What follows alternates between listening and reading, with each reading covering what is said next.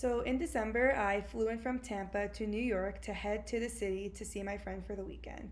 I took the train from Long Island to head into Penn Station to get to um, the Upper East Side. I decided to call an Uber because that's what I normally do and realized the Uber was 30 minutes away and that it was just going to be a hassle finding it. So I was looking around and a guy came up to me and he was like, Oh, do you need a ride? I'm like, Yes, thinking it was a taxi cab. So I go over to his ride, find out it's a pedicab, and a pedicab is kind of like a horse and buggy without the horse. So this guy was going to take me on his bike all the way to the Upper East Side from Penn Station. So I get in thinking, you know, I know it's going to be a little extra money, but whatever. It's only going to be about a 30 to 45 minute ride, and I just wanted to get there as fast as I can.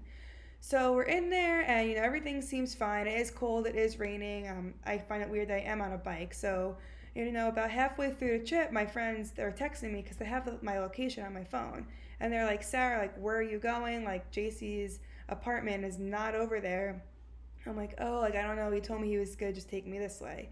So I finally asked him, I was like, where are we going? And he was like, oh, you said the Upper West Side. And I was like, no, like I clearly showed you the address and I stated to you, please take me to the Upper East Side. So we were going back and forth and fighting about that. Um, and it was already like almost 10 o'clock, so I was getting kind of annoyed.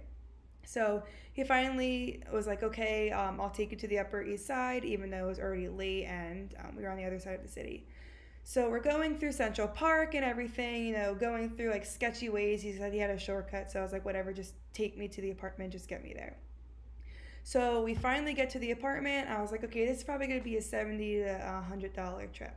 Turns out it's four hundred dollars. He said it was six dollars a mile or something like that. I don't remember exactly, but it was an absurd amount that didn't make sense. So he felt bad because he did take me out of the way. So he ended up cutting it down to a little over three hundred, which obviously is still a ridiculous amount. So I ended up paying, which, you know, I wasn't too happy about, but I had no choice. And I ended up making up to my friend's apartment. And honestly, the whole reason why I was even there was to attend SantaCon, which is where you dress up and um, you go to the bars in New York City. So I ended up did making it. Here's me and my friends in the city.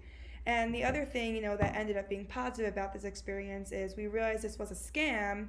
My dad looked into it more, and we did find out that he didn't, you know, provide the right instructions, the company name wasn't there, and didn't provide to me the rates. So we ended up getting my $300 back. So pretty much my lesson learned was to be patient and to ask questions before I get on a ride not knowing anything about it.